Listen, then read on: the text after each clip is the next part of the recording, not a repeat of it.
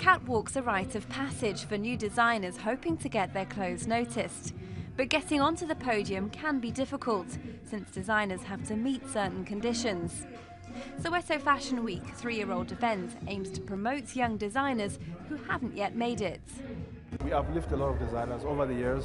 They grow from just being a uh, designing for your neighbor to designing for you know stores.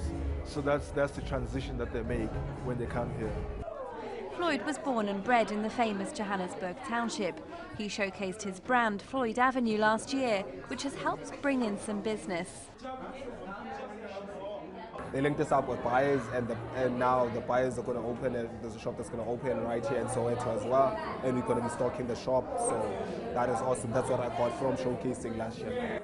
The Conning sisters have never had their own shop or sold their clothes in stores, so their brand You We Me has never set foot on a catwalk. But that's about to change.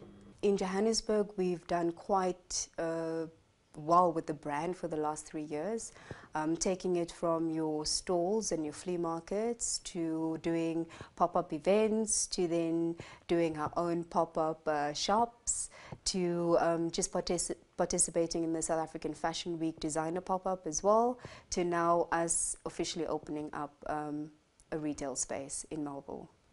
The brand was created by her older sister in London before the whole family in Johannesburg joined her. Eleanor, Angelique and their mother all source fabrics, cut, sew, market and sell. Their secret is the versatility of their clothes, like this dress, which can be worn 16 different ways. But they had to adapt to the South African market. We kind of have to bring our colors and prints down and subdue it a bit because we find that the South African market is a lot more fashionably conservative than a European market.